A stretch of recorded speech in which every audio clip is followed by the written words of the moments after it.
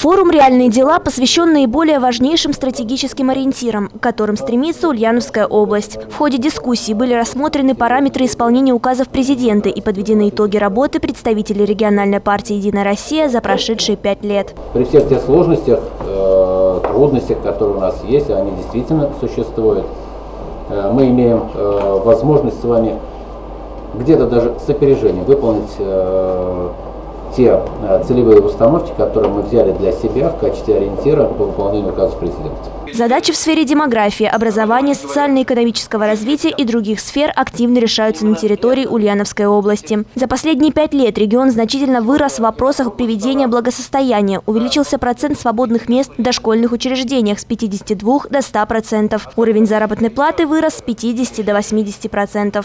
Мы не можем сегодня говорить даже в номинале и тягаться, допустим, с Москвой, Санкт-Петербургом или Казанью там, по среднему уровню заработной платы. Но мы говорим о том, что мы достаточно активно нагоняем. И у нас темпы увеличения а, и темпы реализации дорожной карты выше, чем в тех регионах, которые мы с вами сегодня, с которыми мы пытаемся себя сравнивать. Сегодня важно понять, как в области выполняются все эти задачи, провести оценку сделанному, выявить проблемные области и сформулировать дальнейшие действия. Мы значительно перевыполняем параметры по по развитию высокотехнологичных отраслей, по производству высокотехнологичной продукции.